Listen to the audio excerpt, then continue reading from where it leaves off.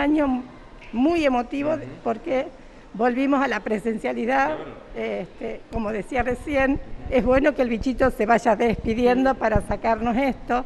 Volvemos a lo, volver a los abrazos, pero bueno, todavía está, así que debemos cuidarnos, pero feliz, contenta de empezar un año lectivo con presencialidad completa y horarios completos, que eso hace a una estabilidad educativa, es muy importante. Ojalá eh, podamos podremos terminar este año 2022 este, completo eh, como empezamos. Sí, sin duda debe ser el, anhelo de toda institución educativa, ¿no? Pero también veía un poco la, matrícula, ¿no? La cantidad de chicos, la cantidad de familias que asisten a la institución y que, bueno, permanentemente están apoyándolos en, lo que va a ser seguramente todo el año.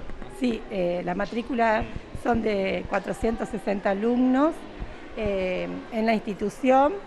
Sí, los padres nos acompañan durante todo el año lectivo. Y también tenemos este año el, tema comedor, eh, tenemos jardín, que son 200 alumnos que vienen a compartir.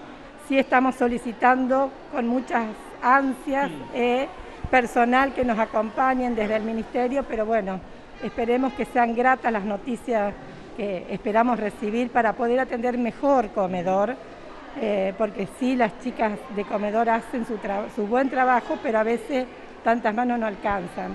Y con respecto a, la parte pedagógica, tenemos un buen plantel que nos vamos fortaleciendo, eh, nos vamos todos los, todos los, días vamos aprendiendo cosas, estudiando, haciendo cursos, mejorando la calidad educativa para nuestros niños, que son los artífices de, este, de esta gran fiesta.